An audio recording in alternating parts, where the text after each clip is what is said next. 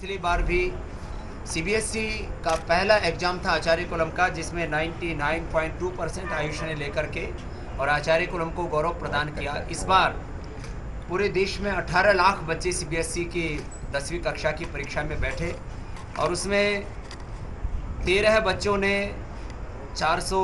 निन्यानवे नंबर लिए हैं 25 बच्चों ने चार सौ अट्ठानवे नंबर लिए और उसके बाद में चार सौ सतानवे नंबर लेने वाले बच्चों में आचार्य कुलम का भी जो मेरे दाई ओर बैठा है, दिव्यांशु मोहन बच्चा, उसने चार सौ सतानवे नंबर लेकर के और पूरे देश में तृतीय श्रेणी में अपना नाम दर्ज करा करके आचार्य कुलम को गौरव प्रदान किया है।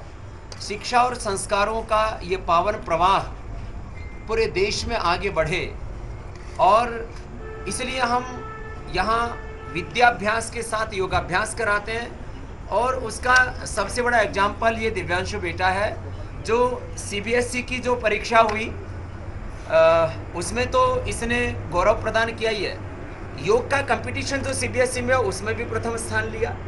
इसने भी लिया और पूरे आचार्य कोलम ने भी लिया। और योग के साथ साथ हर एक्टिविटी में और सबसे बड़ी बात है जीवन में आहार, विचार, वाणी, व्यवहार, स्वभाव के स्तर पर दिव्यता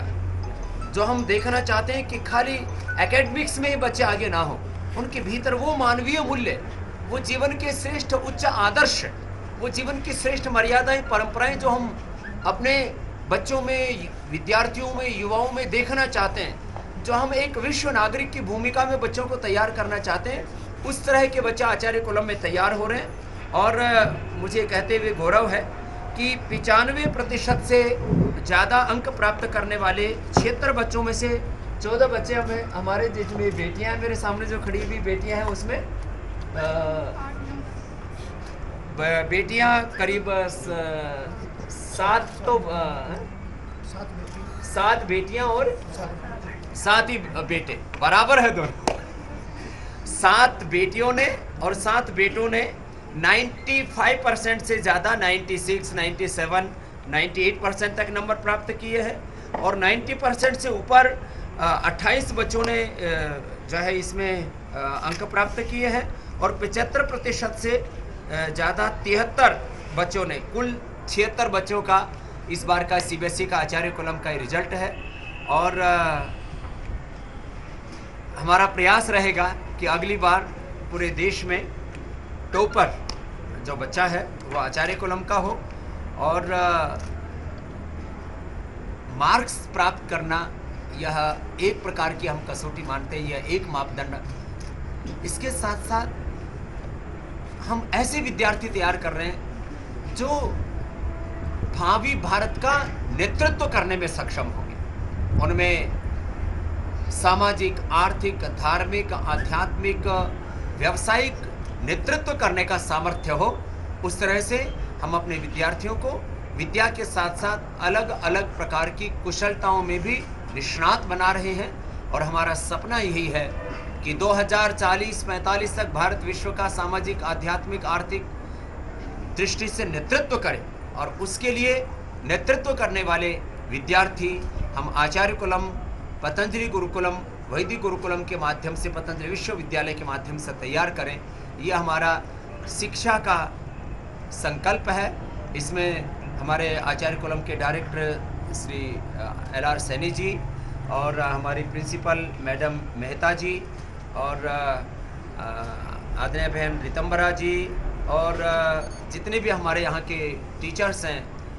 आचार्यगण हैं, उन सबने बहुत पुरुषार्थ किया है। उन सब का हम अभिनंदन करते हुए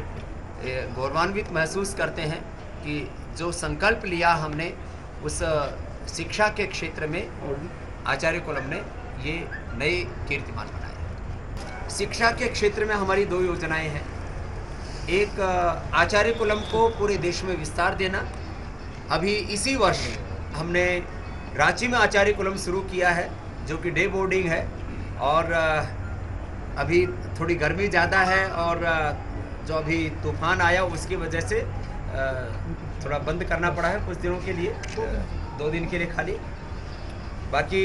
सुबह सात बजे से लेकर के शाम को पाँच बजे तक इस तरह का हमने एक पूरा शेड्यूल बनाया है कि बच्चे वहीं रहें, वहीं उनका ट्यूशन हो, वहीं पर उनका सारी आगे की तैयारी हो। वहाँ इस बार हमारे 600 बच्चों का वहाँ पर प्रवेश हम ले चुके हैं। और वो भी जैसे आचार्य कुलम पतंजलि योगपीठ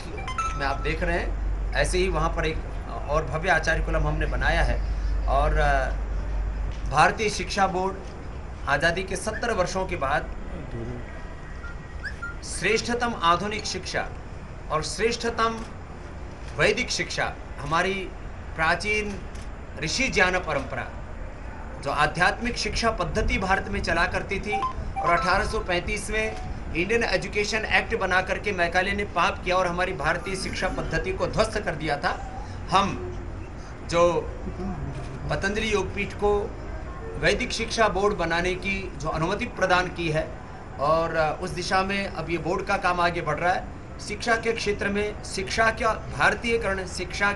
में आध्यात्मिक और नैतिक मूल्यों का समावेश करके श्रेष्ठतम आधुनिक शिक्षा और श्रेष्ठतम वैदिक शिक्षा दे करके जो वर्ल्ड सिटीजन बनाने की हमारी योजना है, हम उसको आगे बढ़ाएँगे। और हज़ारों विद्यालयों को हम भारतीय शिक्षा बोर्ड के माध्यम से जोड़ेंगे। अभी हमारा सीबीएसई से एफिलेशन चल रहा है। आने वाले समय में पूरा देश देखेगा कि सीबीएसई से भी श्रेष्ठ आदर्शों और मूल्यों के साथ हम एक नए बोर्ड को आगे बढ़ाएँगे। वक्त लगेगा हमें इसमें 10-15 साल, लेकिन आगे सीबीएसई का भी कंपटीशन वो भारतीय शिक्षा बोर्ड से हो आचार्य कुलम में पढ़ने वाले विद्यार्थी कैरियर की दृष्टि से, व्यवसायिक दृष्टि से, अपने फ्यूचर की दृष्टि से, जीवन के किसी भी क्षेत्र में आगे कदम बढ़ा सकते हैं। और यहाँ पर भी हम टेंथ के बाद और टेंथ से पहले भी उनको स्पेशल तैयारी कराते जिससे कि आगे वो आईआईटी में मेडिकल में इंजीनियरिंग में जो है अलग अलग क्षेत्रों में वो आ, अपना करियर बना सके आने वाले समय में सिविल सर्विसेज़ से लेकर के तकनीकी क्षेत्र में आचार्य कुलम के विद्यार्थी एक नया इतिहास बनाएँगे और उसको भी देश देखेगा। और खास बात यह है कि हम यहाँ अब जैसे दिव्यांशु ही है इसने संस्कृत में भी हंड्रेड मार्क्स लिए साइंस में भी हंड्रेड मार्क्स लिए, सोशल साइंस में भी हंड्रेड मार्क्स लिए, और इंग्लिश में भी और टेक्नोलॉजी में तो एक साथ संस्कृत से लेकर के और सारे आधुनिक विषयों का समावेश और संस्कृत हमारी अनिवार्य है।